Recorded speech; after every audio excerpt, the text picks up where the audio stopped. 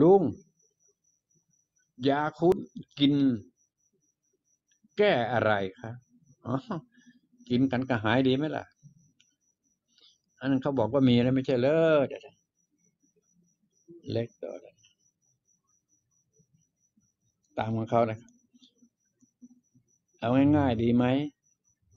ฟังให้ดีนะครับ เคยกินข้าวหมากไหมครับ ข้าวหมาก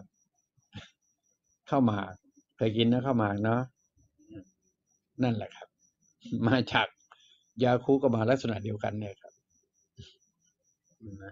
นะนะนะเขาบอกว่าเขาสกัดนู่นนี่นั่นมาเรียบร้อยแล้วจ้า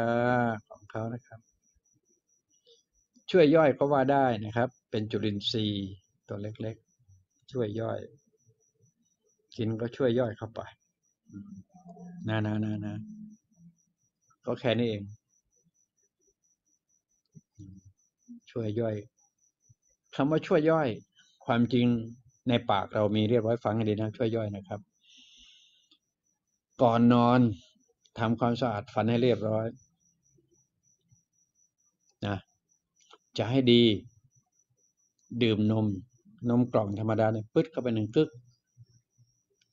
หลับทั้งคืนอย่างนี้นะตื่นเช้ามา ดื่มน้ำไป เป็นลิตรได้ยิ่งดี ถ้าทำได้ เอามันท้องป่องไปเลย ไม่เกินสามสิบนาที มันจะเยี่ยวที่นี้ครับ พอเยี่ยวเสร็จ ต่อมันจะหิว หิวปุ๊บรีบกินทันทีคล้ายๆมันล้างท้องให้ไง